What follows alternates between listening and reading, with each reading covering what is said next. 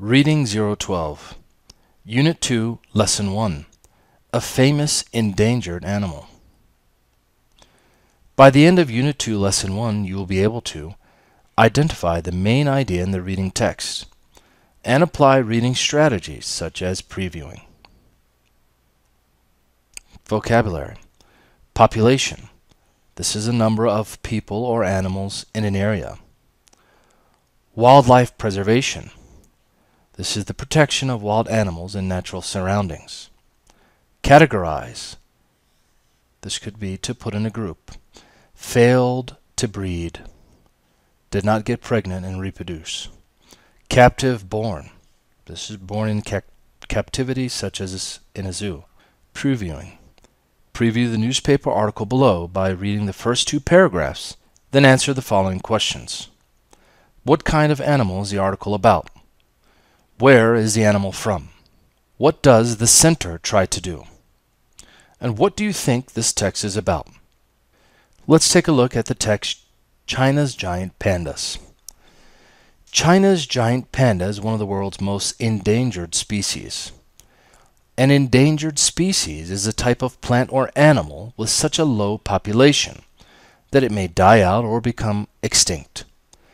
The giant panda is also perhaps the best loved of all animals. People around the world think the panda is very cute, and toy pandas are always popular with children. The panda is also an international symbol of wildlife preservation. Only about 1,000 pandas still exist in the wild. The panda population is very low because of the loss of the animal's natural habitat, a place where a plant or animal normally lives. Humans now use much of the land that the pandas once lived on. The panda's diet consists mostly of bamboo shoots, but the bamboo forests are also disappearing. The giant panda has always been a part of the culture of Chinese people.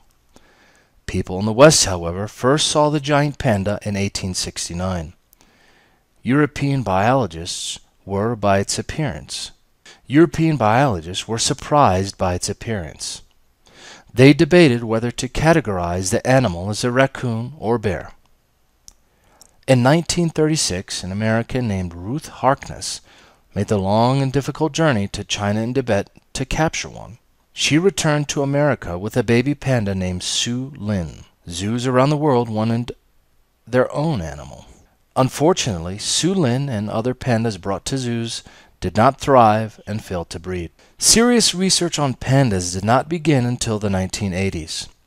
The Wolong Giant Panda Reserve Center is in the Sichuan province of China. Scientists there researched ways to save the panda. They are trying to breed giant pandas to increase the population. They also take care of sick, injured, and lost pandas.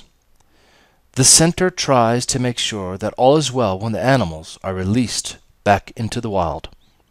Recently, the first captive born giant panda was released into the wild. The four year old panda named Xiang Xiang is doing very well so far. He was trained at the Wolong Center to survive on his own. People around the world hope that scientists can release even more pandas back into the wild. Now answer the following questions, as I read to you earlier. What kind of animal is the article about? It's about giant pandas. And where is this animal from? China. And what does the center mention in the text try to do? It is trying to breed pandas to increase the population. And what do you think this text is about? Giant pandas.